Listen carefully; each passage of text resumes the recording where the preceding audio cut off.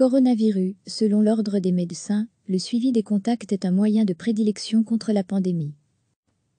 En l'absence d'un médicament approprié et d'un vaccin efficace, le suivi des contacts constitue un moyen de prédilection pour faire face à la pandémie de coronavirus, indique mardi le bureau du Conseil national de l'ordre des médecins, qui souligne la problématique relative au secret professionnel et à la vie privée entourant cette mesure de déconfinement.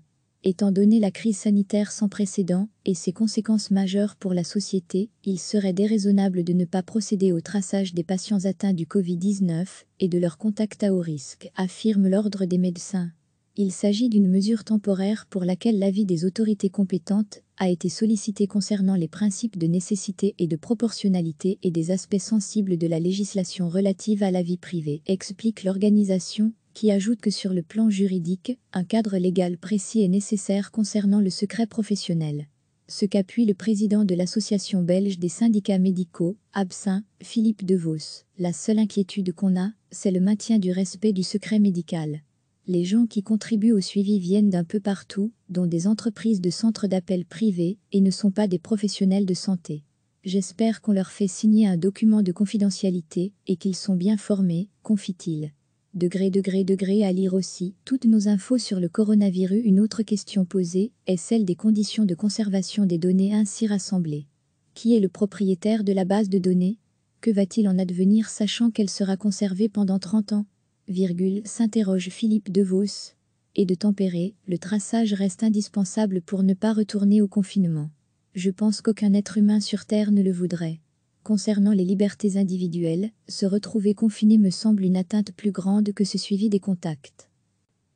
En l'absence d'un médicament approprié et d'un vaccin efficace, le suivi des contacts constitue un moyen de prédilection pour faire face à la pandémie de coronavirus, indique mardi le bureau du Conseil national de l'ordre des médecins, qui souligne la problématique relative au secret professionnel et à la vie privée entourant cette mesure de déconfinement.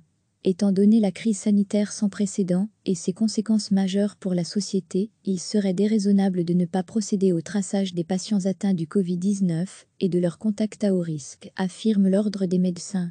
Il s'agit d'une mesure temporaire pour laquelle l'avis des autorités compétentes a été sollicité concernant les principes de nécessité et de proportionnalité et des aspects sensibles de la législation relative à la vie privée, explique l'organisation, qui ajoute que sur le plan juridique, un cadre légal précis est nécessaire concernant le secret professionnel. Ce qu'appuie le président de l'association belge des syndicats médicaux, Absin, Philippe Devos. La seule inquiétude qu'on a, c'est le maintien du respect du secret médical.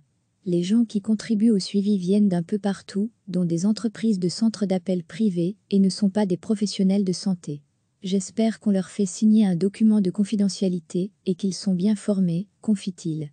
Degré, degré, degré à lire aussi toutes nos infos sur le coronavirus. Une autre question posée est celle des conditions de conservation des données ainsi rassemblées. Qui est le propriétaire de la base de données? Que va-t-il en advenir sachant qu'elle sera conservée pendant 30 ans?